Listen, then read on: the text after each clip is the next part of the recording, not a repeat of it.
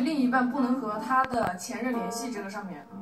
因为我也不能接受我的另一半，就是将来的另一半，他和他的前任联系，我觉得没有必要联系了，因为已经分开了。对，正好我问一下男嘉宾和小淼，你们两个人同样一个问题，就是你们介意不介意对方讲给你听他跟前任的故事？这个可以，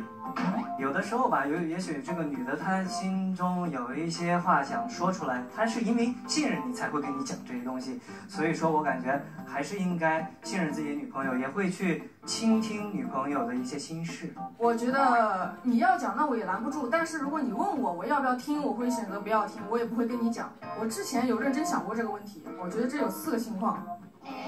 第一种情况是他的前任对他特别的好，这个时候他跟我讲，我会反而特别有压力，我会怕说万一他他一直觉得他好，万一他回来他会不会跟他走？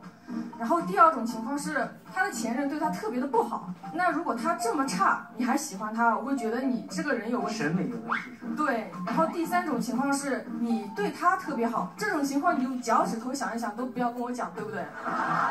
蛮有道理的，对对对对。第四种情况是你对他特别差，这种情况更不能跟我讲，因为就是你会让我知道你对女人是这种情况，你会不会对我也是这样的？我觉得他还挺会分析的，对，分析的我感觉思路非常清晰。对，这四种情况有一个共性，就是对方在跟你谈前任的时候还带着强烈的情绪，你介意的是那种强烈的情绪。对，像小淼这种应该是被现实给弄怕了，是吧？他心里有伤。